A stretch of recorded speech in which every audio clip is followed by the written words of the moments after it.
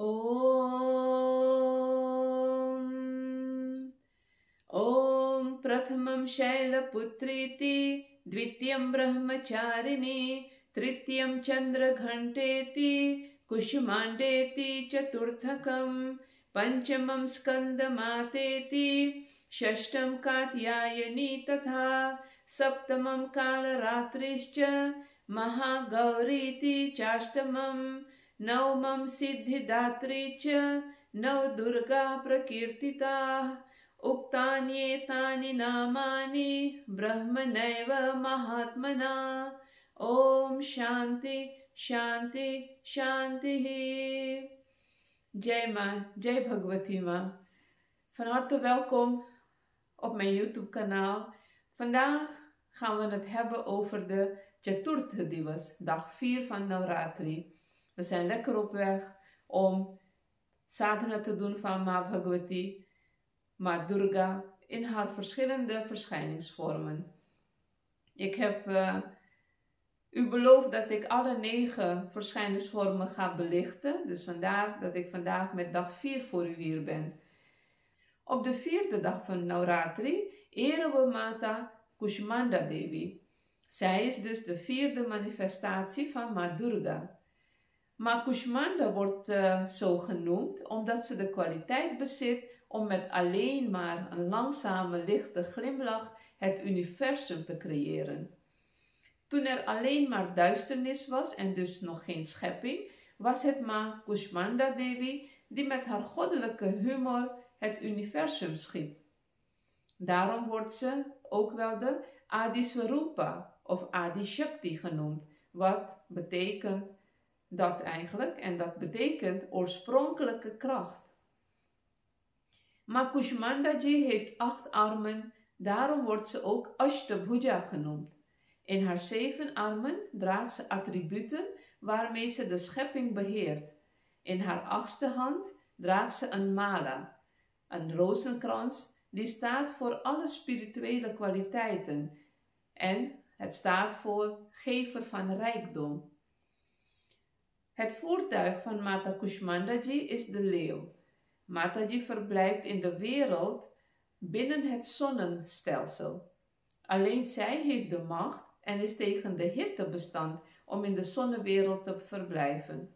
Dat is de reden waarom de gloed en uitstraling van haar lichaam zo helder is als de zon. Alle tien richtingen worden verlicht door haar energie en verschijning.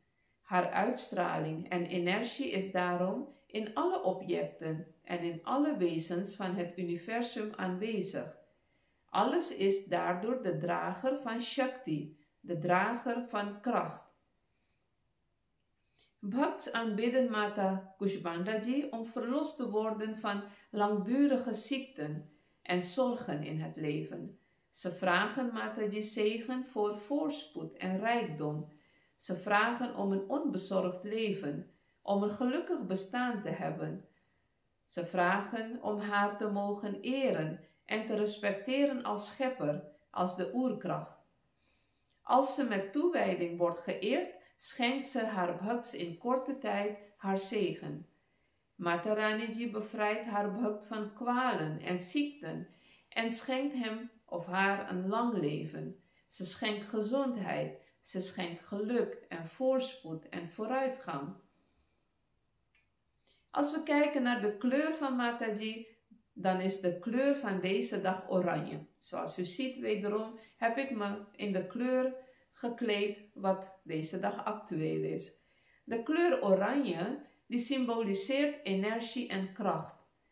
De kleur moedigt ook moed aan en het moedigt vastberadenheid aan. Het dragen van oranje kleding tijdens de puja van Ma Kushmandaji geeft dus energie en vreugde. Deze kleur symboliseert ook dus positieve energie en houdt de geest van de bhakt wakker en actief. De bloemen die Mataji heel leuk vindt, haar favoriete bloemen deze dag is rood. U kunt dus bij uw puja rode bloemen offeren. En wederom kunt u natuurlijk iets uit de geschriften lezen, stotres van Mataji opzoeken en reciteren.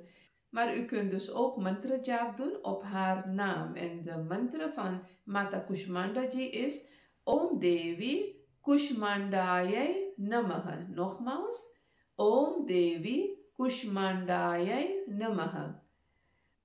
Dit waren wat bijzonderheden over Mata Kushmandaji. Ik hoop dat u een mooie voortzetting mag hebben van uw sadhana van uh, deze Navratri-periode. Dit was dag 4. Ik sluit af met de mantra. Ya Devi Sarva Bhuteshu Ma Kushmanda Rupena Sanstita Namastasyai Namastasyai Namastasyai Namo Namaha Om Shanti